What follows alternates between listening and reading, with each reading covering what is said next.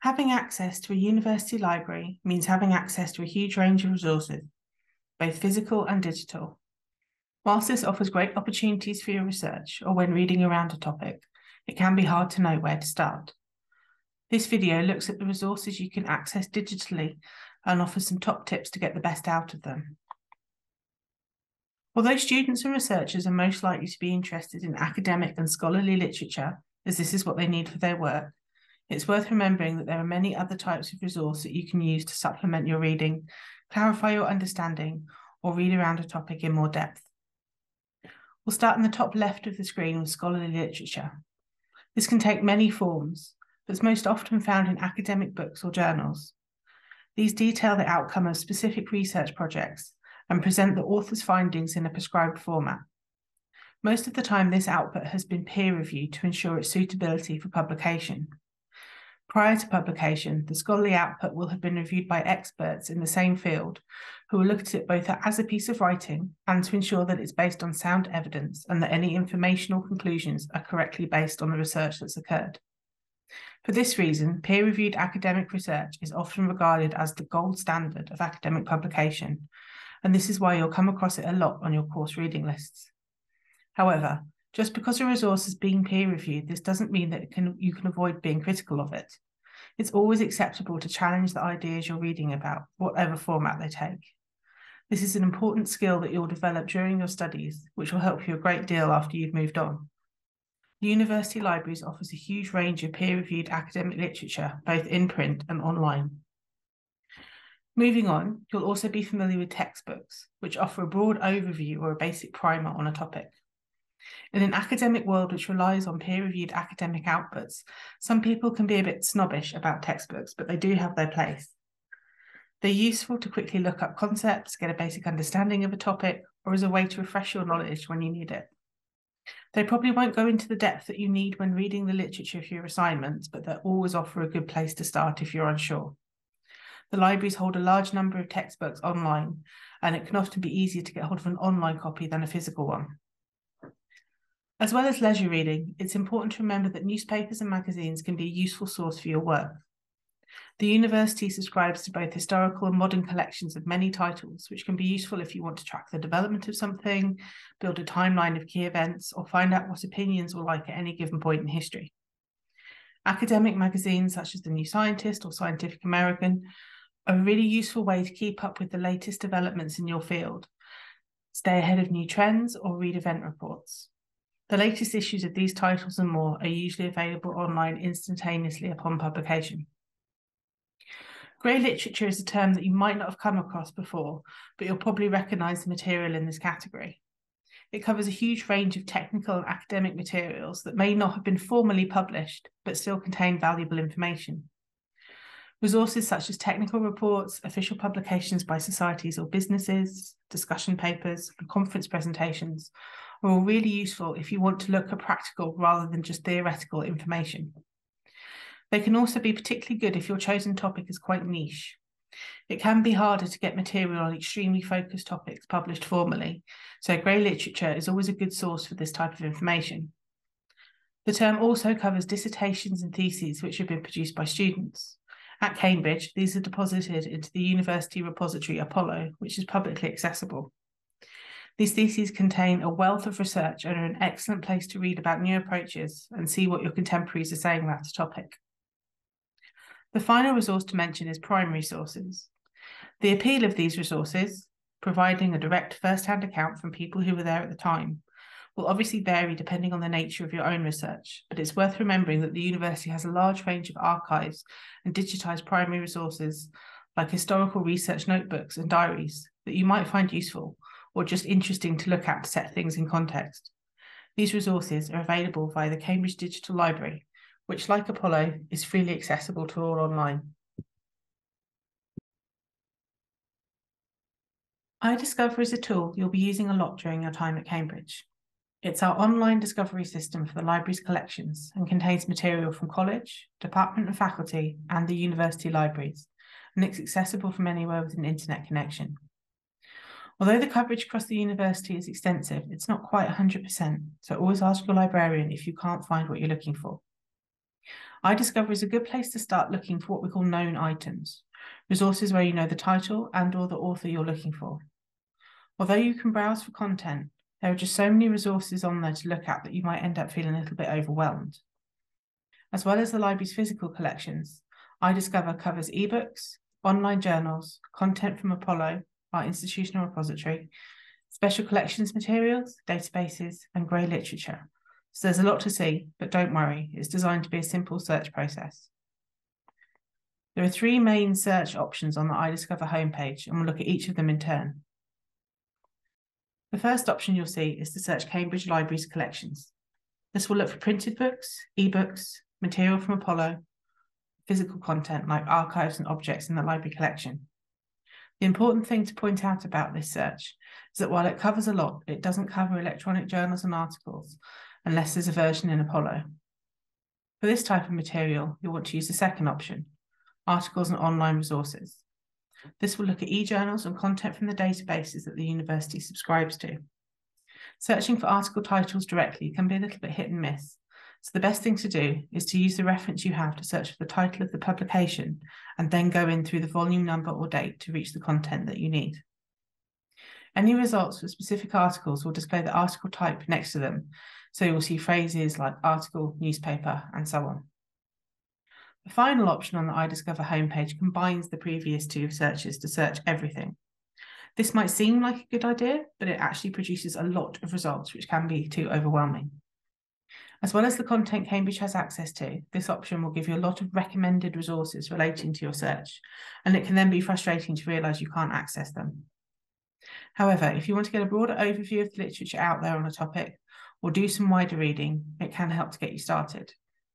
If you're just beginning your studies, it's probably not a tool that you'll want to use, as you're likely to need more focused results.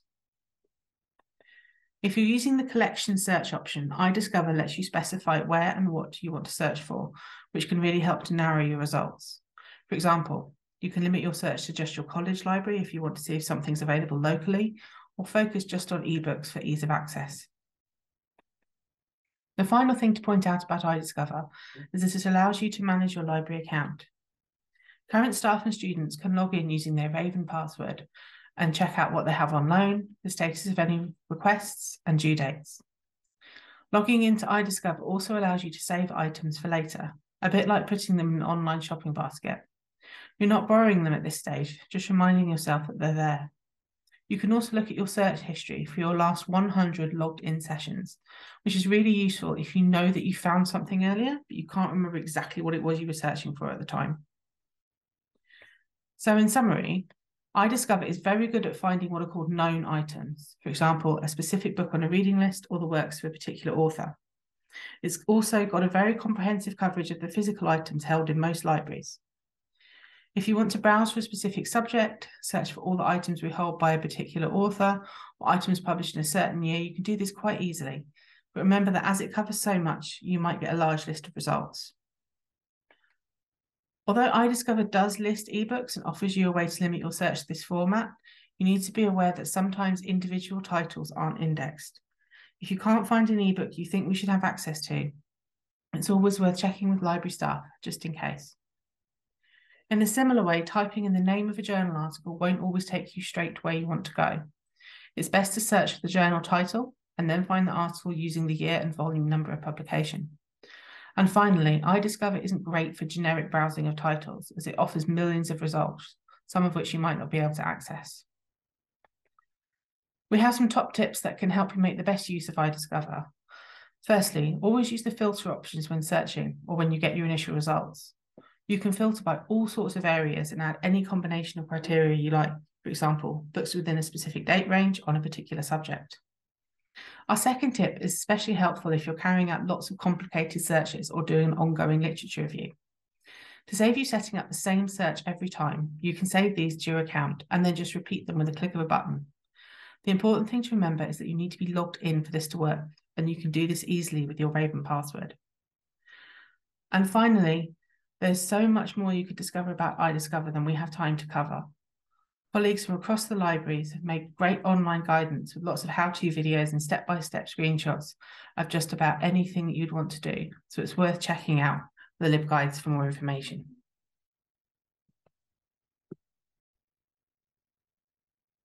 We've always held a large collection of online resources at Cambridge, but this has expanded considerably during the pandemic, and we now offer access to millions of books and hundreds of thousands of electronic journals. You can find these through iDiscover and the database A to Z. One thing it's worth pointing out about online resources is that our access is a little bit changeable depending on subscriptions and trials, but we'll show you how to keep up to date. The screen shows you what searching for an ebook in iDiscover looks like and highlights some terms that you might come across. On the screen, you'll see three different versions of a book. Each book has the same content, but they come in different formats as indicated by the text next to them. The top result is the ebook. You can tell this as it displays a green link reading online access. Clicking this link will take you through to the ebook where you may be asked to sign in with your Raven password if you haven't previously. The second item in the list is the physical paperback copy of the book. iDiscover indicates this by showing a list of libraries where the book is available. Remember that if the book is held in more than one library, for space reasons, iDiscover will only display the name of the first and then the phrase and other locations. Clicking on this link opens up a list of other places where you can get the book, so please don't panic if your library isn't the first one that's listed. For some titles, you'll see a note in red which reads Electronic Legal Deposit. Cambridge is one of six legal deposit libraries in the UK, which means that it's entitled to claim a free copy of every title published in the UK.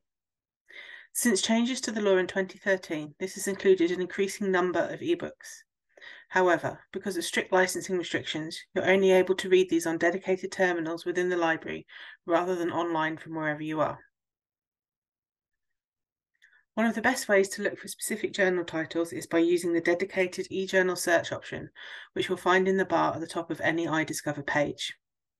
This brings up the option to enter a journal title or serial number, or to browse journal titles by the first letter of their name. As it's a search specifically for eJournals, this automatically filters out any content which might clutter your search. When you do a search, you'll get a result, which lists the title and other basic information. To access the journal, look for the little green online access option and follow the link. This takes you through to the home page of the journal itself, where you can find the content that you want to read. The most obvious benefit of ebooks and e-journals is that you can, at least in theory, access them from wherever you are. You can find a reference to something in what you're currently reading and read that new reference instantly rather than waiting until you're next in the library. Many of the platforms also offer easy annotation of the content or allow you to download them to your device. The biggest issue with these resources is that libraries often subscribe to different packages of content with different rules and availability. This means that we might not have access to the complete run of journal titles, or that access to different years might be spread across different platforms. All of these platforms operate in a slightly different way, so although they have similar functionality, the option to do something might be in a different place or be called something different depending on the site. With ebooks in particular, there is an issue with multiple users. Sometimes resources are restricted to a certain number of users at any one time, and once this is reached, you might have to wait in a queue. It's worth persevering though, as spaces usually free up pretty quickly. Not everyone enjoys the experience of reading on screen, and we often get questions about printing material out. There are limits on how much you're legally allowed to print from this material, so that's not always an option. Helpfully, our colleagues across Cambridge Libraries have produced some guidance on making the most of reading on screen, which might help you if you find this difficult. Our main tip when using online resources is to always check the catalogue record really carefully to make sure that we do actually have access to the exact journal volume you need. Just because you found the title doesn't mean that we'll have access to every issue. If you find yourself in a queue for an ebook, it's worth checking back later, as these usually resolve themselves fairly quickly. Our final tip is to follow our colleagues who work in the e-journals and ebooks teams. Not only are they on top of any service disruption issues, but they also regularly share details of new and trial resources which you might find interesting for your research. There's one bonus tip to mention that can help you access electronic materials when you're away from campus. Lean Library is a browser extension which looks at the material you're looking for and searches Cambridge descriptions to see if we have access. If we do, then you'll be directed to the item you want, and if not, the extension will try and find an openly accessible version for you to read. If that doesn't work, you'll be offered the chance to request the item via interlibrary loan from another institution.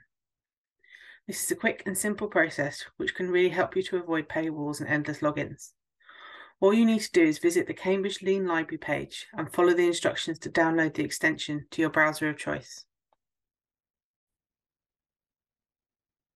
Much of the online content the libraries offer is provided through subscriptions to large databases like Scopus and Web of Science. Databases contain large collections of content which they organise on the basis of subject and format, so you know that you're going to get some results that are really relevant to your work. Cambridge currently subscribes to over 1,000 subject-specific databases, including those covering all aspects of the physical sciences. The easiest way to access these databases is by using the A to Z databases tool, which you can find a link for at the top of any iDiscover page or through our LibGuides. There are several search options available to you when using the A to Z. You can use the box on the left to filter databases by subject, for example, maths or physics. This option allows you to filter to only one subject at a time, but it does offer the chance to explore databases that will be directly relevant to your studies. Once you've limited to a subject, you can use the middle two boxes to further streamline your search according to type or vendor if you'd like. For example, you can choose to look for only open access databases in astronomy or chemistry databases from Wiley. However, in practice, filtering by subject is usually enough to reduce your results to something manageable.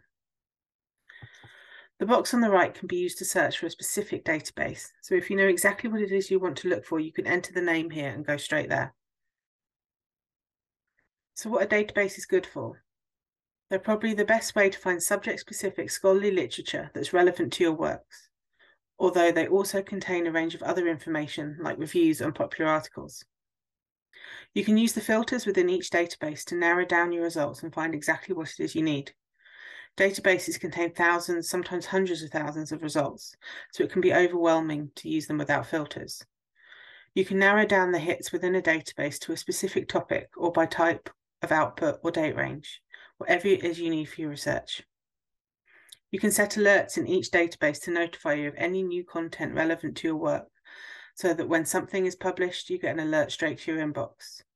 This is a really great way to keep on top of the literature on a topic and is especially handy if you're doing a literature review. An alternative to this is to run a manual search every so often to pick up new materials. You can create really complex and specific searches to narrow down what you need. And rather than typing these in every single time, many databases will allow you to save them so you can run them instantly. You need to remember to log into databases for this to work. For all their positives, databases do have some downsides. They're not great for casual browsing as they contain so much information. You need to have some idea of what it is you're looking for before you start using them to avoid being overwhelmed by information. And you need to be prepared to run multiple searches across different databases to get all the information you need.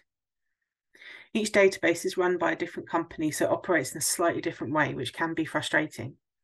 You'll learn how to do something in one database, and then you'll find that the button is in a different place in another. But the principles are all broadly the same. And finally, databases love to do upgrades and upgrades and redesigns, which means that features and layouts can change in between logins. All the functionality will be the same, but everything will look a little bit different. The sheer number of databases Cambridge subscribes to can feel overwhelming, so we've done some of the hard work for you and highlighted the best bets options in this yellow box that you'll see on every subject page. This is a specially created list of the databases, the best ones on that topic, and it offers a really good place to start if you're feeling overwhelmed. When accessing any database, it's important to always go through the database A to Z or iDiscover, as these links are already set up to recognise that you're coming from Cambridge. They'll also stop you hitting paywalls or being redirected somewhere that you can't access, which often happens if you just try and log in via something like Google. You'll need to log into these databases with your Raven password, but you should get automatic access if we subscribe to them. And finally, it's a good idea to always keep an eye out for the latest databases to be added. Cambridge has offered a lot of trial subscriptions to databases, which might be of use to your research. You can keep up to date on these trials by following the e-journals at Cambridge or your departmental social media accounts.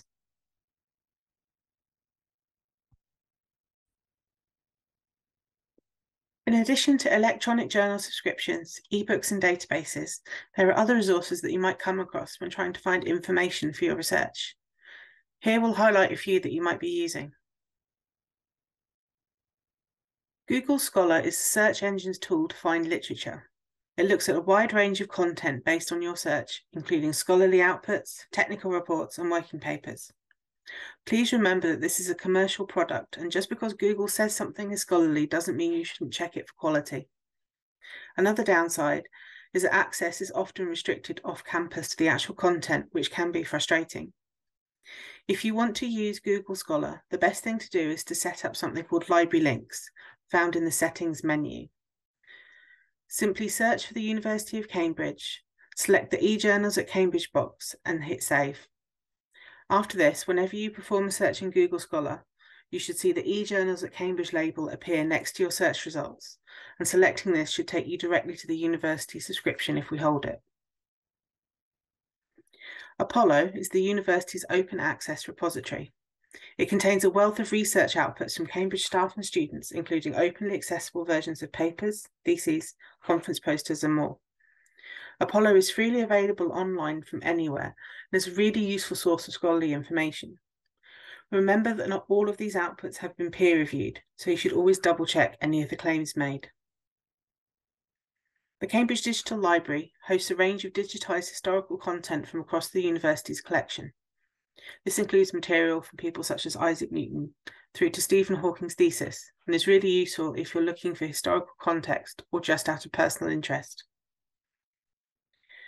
You may come across research outputs on sites like ResearchGate or academia.edu, but did you know that these sites were originally established as social networks for academics?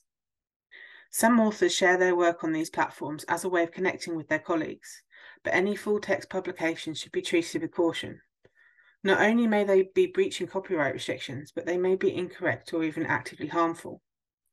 These commercial sites are not legitimate open access repositories, and they don't perform any quality checks when something is shared, meaning that anyone can register for an account, post something, and call it research. So always be careful. The final resource to touch on is arXiv. This is a popular preprint server where authors share versions of their work with the wider community before they submit for publication. This helps them to get informal critique and review, and is used by some disciplines as the main method of sharing outputs. It contains valuable information, but it's always a really good idea to verify any claims made and see if a formally published, peer-reviewed version of the output is available. We hope this video has been useful. You can find more information on navigating the online library and other topics on our LibGuide.